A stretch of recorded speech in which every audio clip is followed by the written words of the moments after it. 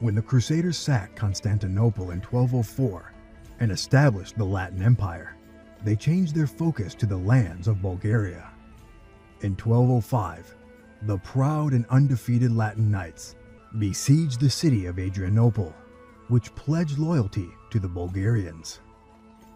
During the siege, Cuman horse archers sent by Tsar Kaloyan started to harass the Latin knights.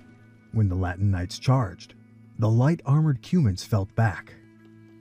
Eventually, the proud knights couldn't stand this harassment and gave chase to the Cumans, trailing them for almost nine kilometers. Little did they know that the Cumans were leading them to a trap. Suddenly, the Latin knights realized they were surrounded by the Bulgarian infantry. The Cumans turned, and the entire force of Tsar Kaloyan descended upon the knights, completely slaughtering them.